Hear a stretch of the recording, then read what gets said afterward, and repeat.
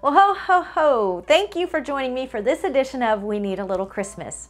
I'm LeeAnn Stair, and I hope to bring you a bit of Christmas cheer as I share with you some of the stories behind traditions, songs, and movies of the holiday season.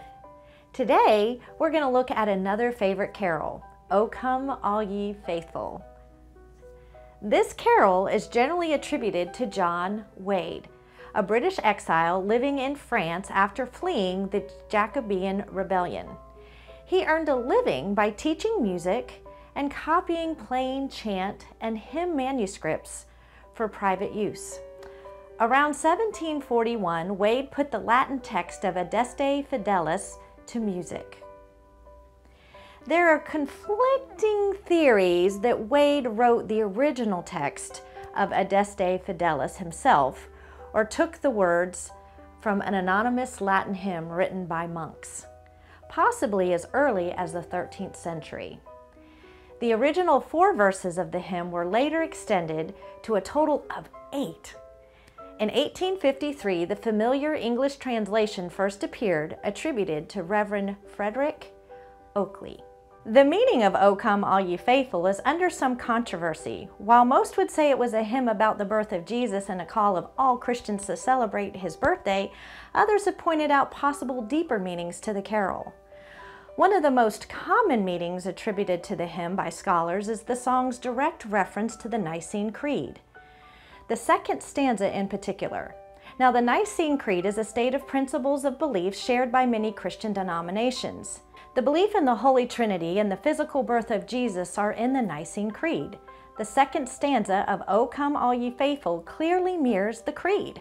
It says, True God, of true God, light from light eternal, lo, he shuns not the Virgin's womb, Son of the Father, begotten, not created. Recently, there has been a competing theory about the meaning of the hymn put forth by Professor Bennett Zon, head of the Department of Music at Durham University in England. He claims that the hymn can be interpreted as a call to arms for the faithful Jacobites to return with triumphant joy to England or Bethlehem and venerate the King of Angels, that is, English King Bonnie Prince Charlie. The Jacobite Rebellion was a failed attempt of Charles Edward Stuart, aka Bonnie Prince Charlie, to depose the sitting King of England, George II. The meaning of the Christmas carol is clear. Come and behold him, born the King of Angels, really means come and behold him, born the King of the English, Bonnie Prince Charlie. Now there is some credence to this theory as John Wade, the hymn's author and composer, had fled to France from England during the doomed Jacobean Rebellion. You can decide for yourself which story to believe. Several artists have recorded this hymn. Mariah Carey recorded this carol on her second Christmas album, which also features her mother, Patricia Carey, who is a former opera singer. Another popular modern version is by Josh Groban, who recorded the song with the, Brooklyn, with the Mormon Tabernacle Choir. Now, as Adeste Fideles, Bing Crosby released the only version of this song to chart in the U.S., reaching number 45 in 1960. Dee Snider of Twisted Sister claims that the group's hit We're Not Gonna Take It is based on the melody to this song.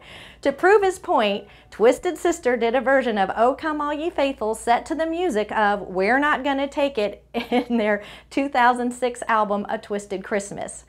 Another interesting tidbit of information about O Come All Ye Faithful, it is reported to be the favorite Christmas carol of President Dwight D. Eisenhower, and its original form of Adeste Fideles was President Thomas Jefferson's favorite.